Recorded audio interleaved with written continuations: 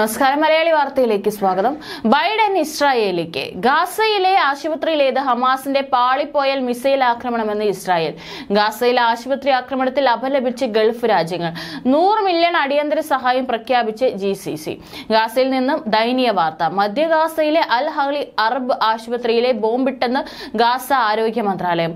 അർദ്ധരാത്രിയോടെ ആക്രമണം നടന്നത് സംഭവത്തിൽ അഞ്ഞൂറിലധികം പേർ കൊല്ലപ്പെട്ടതായും നിരവധി പേർ കെട്ടിടങ്ങൾക്കിടയിൽ കുടുങ്ങിക്കിടക്കുന്നതായും ഗാസ ആരോഗ്യ മന്ത്രാലയം അറിയിച്ചിരുന്നു.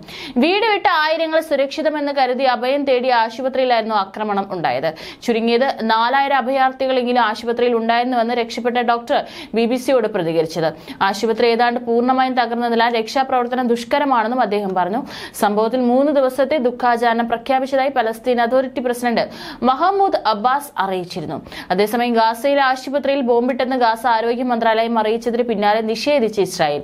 ഗാസയിലെ ആശുപത്രി ആക്രമിച്ചിട്ടില്ലെന്ന് കാണിച്ച് ഇസ്രായേൽ പ്രധാനമന്ത്രി ബെഞ്ചമിൻ നെതന്യാഹു ആണ് നിഷേധക്കുറിപ്പിറക്കിയത്. ലോകം മുഴുവൻ അറിയണം ഗാസയിലെ ഭീകരരാണ് അത് ചെയ്തത്. നമ്മുടെ കുട്ടികളെ ക്രൂരമായി കൊലപ്പെടുത്തിയവർ അവരുടെ മക്കളെയും കൊല്ലുകയാണ് എന്നും കുറിപ്പിൽ വിശദീകരിച്ചു. ഇസ്ലാമിക് ജിഹാദികൾ ഇസ്രായേലിനെതിരെ തൊടുത്ത മിസൈൽ ആക്രമണം പരാജയപ്പെട്ട് ആശുപത്രിയിൽ പതിച്ചതാകാമെന്ന് ഇസ്രായേൽ സൈനിക വക്താവും അറിയിച്ചു. അൽ അഹ്ലി ബാപ്റ്റിസ്റ്റ് ആശുപത്രി ആക്രമിക്കപ്പെട്ട സമയത്ത് ഗാസയിൽ നിന്നും തന്നെ നിരവധി റോക്കറ്റുകൾ ബോംബാക്രമണം തുടങ്ങിയിരുന്നു. അങ്ങനെയാകാം ആശുപത്രി ആക്രമിക്കപ്പെട്ടത്. ഐ ഡി എഫ് പ്രവർത്തനം വിശകലനം ചെയ്തപ്പോൾ ഗാസയിൽ നിന്ന് മിസൈൽ ആക്രമണം നടത്തിയിരുന്നതായി കണ്ടെത്തിയിട്ടുണ്ട്. ഇതിനിടയിലാണ് ആശുപത്രിയിലും ആക്രമണം ഉണ്ടായത്. വിവിധയിടങ്ങളിൽ നിന്ന് ലഭിച്ച ഇന്റലിജൻസ് വിവരം അനുസരിച്ച് ആശുപത്രിയിൽ ഉണ്ടായ ആക്രമണത്തിന്റെ ഉത്തരവാദിത്തം ഇസ്ലാമിക് ജിഹാദ് ഭീകര സംഘടനയ്ക്കാണെന്നും ഇസ്രായേൽ സൈനിക വക്താവ് ട്വിറ്ററിൽ കുറിച്ചു. അതേസമയം president Joe Biden Israel Jordan സന്ദർശനത്തിനായി വാഷിംഗ്ടണിൽ നിന്ന് തിരിച്ചു. ഗാസയിലെ ആശുപത്രി ആക്രമണത്തിന് ശേഷം സ്ഥിതി കൂടുതൽ രൂക്ഷമായ സാഹചര്യത്തിലും ഇസ്രായേൽ സന്ദർശനത്തിന് മാറ്റം വരുത്താതെയാണ് ബൈഡന്റെ യാത്ര. ഇന്ത്യൻ സമയം ബുധനാഴ്ച പുലർച്ചെ മൂന്ന് മണിക്കാണ് ബൈഡൻ വൈറ്റ് ഹൌസിൽ നിന്ന് ഇസ്രായേൽ സന്ദർശനത്തിനായി പുറപ്പെട്ടത്. ഇന്ന് തന്നെ ബൈഡൻ നെതന്യാഹുമായി സുപ്രധാന കൂടിക്കാഴ്ച നടത്തും. അതേസമയം ഗാസയിലെ ആശുപത്രിക്ക് നേരെയുണ്ടായ ആക്രമണത്തിൽ അപലപിച്ച് ഗൾഫ് രാജ്യങ്ങൾ. ആക്രമണത്തെ സൗദി അറേബ്യ അപലപിച്ചു. ക്രൂരമായ കൂട്ടക്കൊല അന്താരാഷ്ട്ര നിയമങ്ങളുടെ ലംഘനമെന്ന് ഖത്തർ വിദേശകാര്യ മന്ത്രാലയം പ്രതികരിച്ചു.